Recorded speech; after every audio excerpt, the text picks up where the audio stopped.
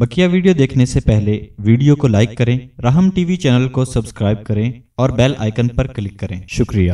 اس سے تو سنت ہے کہ جب آپ آئینہ دیکھیں، تو آئینہ دیکھ کے دعا پڑھتے ہیں، اللہم انت حسن خلقی فحسن خلوقی اے اللہ، جیسے تو نے میرا چہرہ خوبصورت بنایا ہے، جیسے تو نے میری تخلیق خوبصورت بنائی، یا اللہ میرے اخلاق بھی خوبصورت بنا دے۔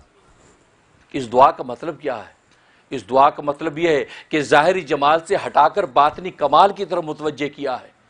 کہ اللہ کے ہاں تمہارے ظاہری جمال کی کوئی قیمت نہیں ہے۔ ہاں تمہیں اللہ نے اگر خوبصورت بنایا ہے تو یہ قابل شکر بات ہے، یہ قابل فخر بات ہے۔ لیکن لیکن اس پر نجات نہیں ہے۔ اگر اللہ کے ہاں کوئی قیمت چاہتے ہو، اللہ کے اگر تم نجات چاہتے ہو، دنیا میں جیسے تم خوبصورت ہو اور آخرت میں بھی اللہ کے خوبصورت انعام چاہتے ہو، تو پھر باطن کے اخلاق اپنے اندر پیدا کرو۔